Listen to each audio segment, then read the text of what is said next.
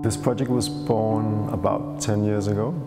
It's a photographic series which documents the restoration of a, an early modernist villa by Eileen Gray.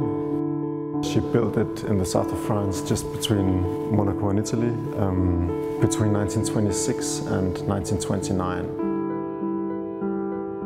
What I did was I applied for permission to document the whole process um, from beginning to end and decided to do that by way of an existing portfolio of photographs that Eileen Gray herself had produced in 1929 um, when the house was first finished. The beginning point for me was to try and go back and have a look at those images in a way indirectly recreate that same portfolio uh, simultaneously as the restoration was going on.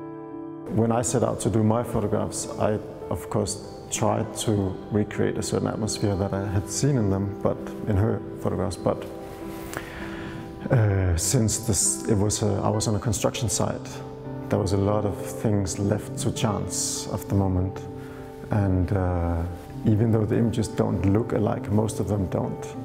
There's a, there's that sort of relationship that uh, between them that I think uh, that is important for me.